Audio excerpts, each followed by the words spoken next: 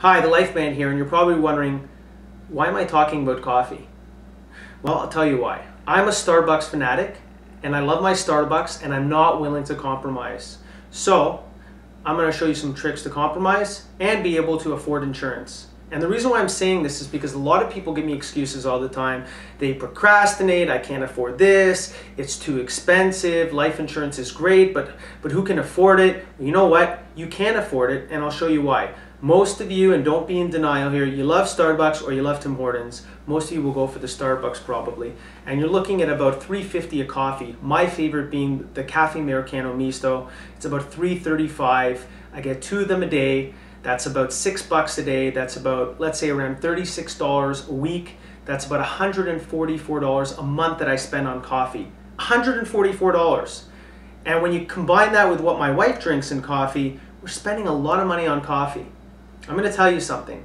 A life insurance policy for a 35 year old man for half a million dollars in coverage for a term 20, you're looking at $40 a month or less. So you can definitely afford life insurance. Now, I'm going to show you a substitute for those of you who aren't willing to give up the quality of coffee that you're currently drinking. I came across this beautiful machine here. It's called an Nespresso. It's endorsed by George Clooney. If you look it up, you'll see he's all over the place with it. And you know what? It's unbelievable. It's probably better than Starbucks. It makes incredible frothy milk better than Starbucks. And I mean, it's not just me saying it, but you can probably go to the store. They give out free samples all the time of any coffee you want. You can test it out, check it out for yourself.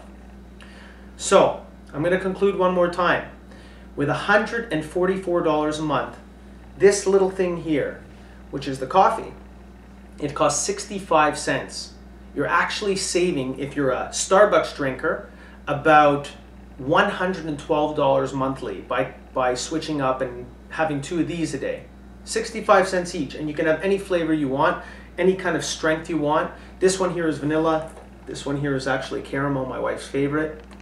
If you're a Tim Hortons drinker, you can save about $40 a month. That's a significant savings as well. So, moral of the story, you can afford life insurance and you can just make simple cuts. The machine is a little bit pricey. It's about $2.99, but it's well worth it it'll, it'll pay off in the end.